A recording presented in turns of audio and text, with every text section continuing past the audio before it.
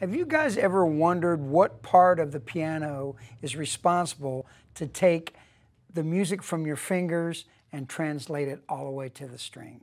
Have you ever wondered that? I have.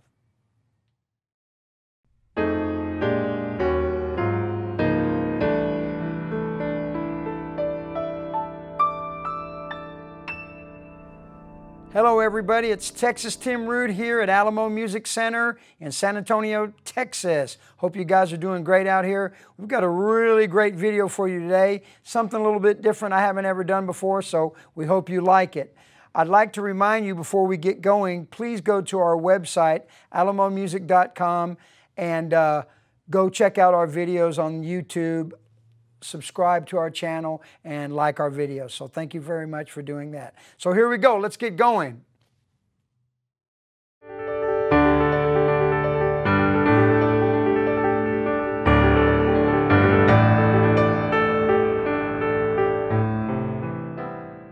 Okay, so first thing we're going to do is we're going to actually take out the piano action from the piano. All right? This isn't something maybe I'm recommending that you do at home, but a piano technician would do this. But it's really the only way for us to show you what a piano action is like. So we're going to show you how to take it out. All right, so here we go. First thing you want to do is take off the fall board. So you gently do it, and then you just pull it up like this. Don't want to scratch it. Put it down, and normally what I do is I just put it right down here, right? Next thing we want to do is there'll be two screws here. Sometimes there's screws in the top, you got to watch out for that, but on this wonderful Kawai piano, there's not. So uh, we'll just unloosen it here, right?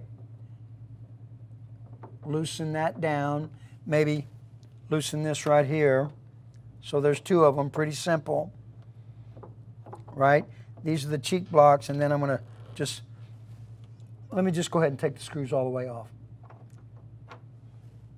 Put them on the ground. All right. Now, this board should just come right up. Don't want to hit the piano. Like that. cool. Then I'll put this over here. Basically, you want to just be real careful with your piano. Like I said, I don't really recommend doing that. Okay, so now we can see we're getting into the piano action, which is really interesting. It's an amazing what this thing does. Okay, then we're going to take off the cheek blocks, just kind of take those out, put them right here. There you go. So now that's pretty much it. Uh, fall board off, screws, front plate, cheek blocks, you're in. Now, this is the kind of the most delicate part. They've told me what you don't want to do, you're going to slide this whole action out, but what you don't want to do is be pressing any of the keys down slightly because the, the hammers and everything will be up. So what we're going to gently do is move this out just like this, very carefully. And then now we're getting into this beautiful grand piano action. Now, is that amazing? Woo, daddy. It looks cool. So 88 keys, killer piano action right here.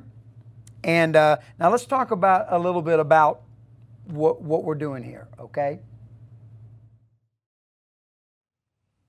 So everybody, when you think of a piano, you think of, oh, it's so beautiful. It's elegant. It's a wonderful piece of furniture. It's just so beautiful, beautiful, which is nice.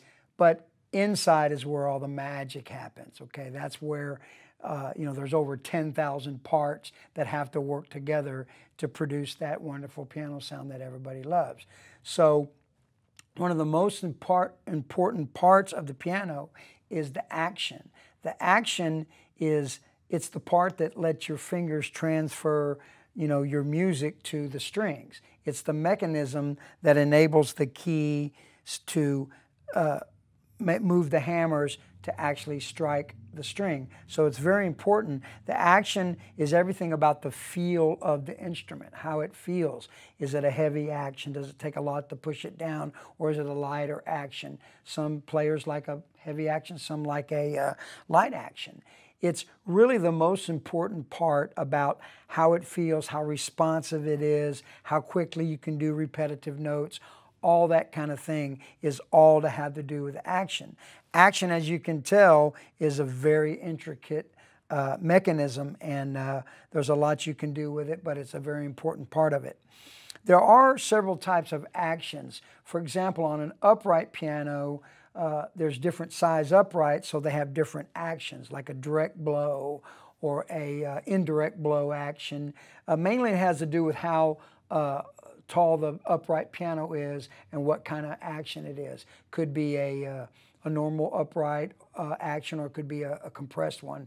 But the key thing about an upright is the mechanism strikes the string with a hammer going forward. Today we're going to take a look at the grand piano action, which is really a better action because it the hammers uh, go up from under the string and, and strike the string from underneath. And it uses kind of gravity in its favor to help it uh, uh, go back in place. So really, overall, the grand piano action is uh, much better. Uh, there's four important parts. I'm not going to go into every little piece of an action because I mean I could be here for like a long time. Today we're just going to talk about four key uh, important parts of an action. First of all is the key. All right. So there's four important parts of an action. Uh, there's obviously a lot more parts here, but we'll start out with the four important parts. Number one is the key, okay? Of course, the key is uh, like a seesaw. It's the thing you hit with your fingers, and what it does is it enables the hammer to move to the string, all right? It's very important, and it has like a pivot point, a balance point that's located uh, behind the fall board. So the longer the strings, uh, I mean, excuse me, the longer the keys are, the more control and uh, you have over it. So key length is really important, all right? So basically, that's what gives you, you know, the, the connection between your fingers and the, the other parts. Second is the jack okay? The, uh, uh, the jack is what basically uh, you press down the key and it backs up and flicks the jack upwards and makes the hammer hit the string, all right? So that's a very important part. See, so you hit the string, goes up. If you hit it very soft, now if you hit it lat hard, boom. See how it goes all the way back really fast? If you want to do fast notes, it's really cool. You want to do multiple like a chord? Name that chord. Name the scale. Just kidding. Anyway, so the key and the jack, and then this part right here is the hammer. All right, now that's really important. All right, so the hammer is the part of the action that makes the piano unique from the other keyboard instruments such as a harpsichord or a clavichord. The hammer begins its movement when the jack and the repetition lever push up on the hammer knuckle. The knuckle has an outer layer made of leather normally and an inner felt cord. So these are made out of different materials, premium felt mainly, but there's all sorts of, of hammers uh, out there that, that give you a different sound, but you got to have some nice hammers. And the dampers located in here, those are, uh, they control the damping or the stopping of the string's vibration. The dampers are found on most, but not all strings on the piano. When the key is released, the damper head is lowered back onto the string, stopping the sound. When the damper is at rest, it sits on the felt pad attached to the damper lever aboard. So those are important parts. The key, the jack, the damper, and uh, you know, there's a lot of other parts in there we're not going to go into today. But uh, this is one of the most intricate parts of the piano. So like some you may have heard the term voicing or uh, regulation that you, you would have a technician come in and tweak out you know maybe you want it to be a little bit darker or not so bright. Well they can come in and, and, and fix it to where it's a little bit uh, sounds a little bit darker or you want the action to be a little heavier you want it to be lighter. So a good technician can come in here and adjust your action and make it perfect for your uh, playing style and preference Okay, so that's pretty cool. Just to let you know, the action we actually pulled out today is from a, a, a GX, GX6 Kawai piano. This is the Millennium 3 action, which is really an advanced uh, uh, action. Now, Kawai is renowned for their actions, and you'll notice that uh, there's a lot of wood parts in here, but in key parts, you can see down in here, if you take a look with the camera, you see these black bits? Those are special uh, ABS carbon parts, okay? So these parts are faster, stronger, lighter, and more durable. Similar to materials you would find on a tennis racket, you know, some of the great tennis rackets, or some premium golf clubs, Formula One race cars, uh, I think the Boeing Dreamliner aircraft is made out of it. So that's the future for actions. Really, what they're doing is they're improving actions, and Kawai is really taking the lead on it. Uh, wood has been traditionally what they used on most of the on materials, but you know, wood is susceptible to uh, shrinking and swelling, and you can tell with all these uh, thousands of parts in here that just a little shrinking or a little a swelling could really throw it off and, and cause you problems, especially depending on what part of uh, the country or the world you live in, the climate.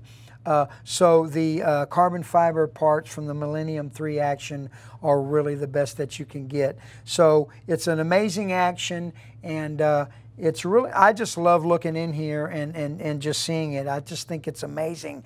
But the key thing is about the action is that's really what translates the, the musician's uh, mood or emotion or feeling into actual mechanics to actually hit the strings, which then goes to the, the bridge and the soundboard and the frame to produce the wonderful instrument. But it doesn't happen without a great action.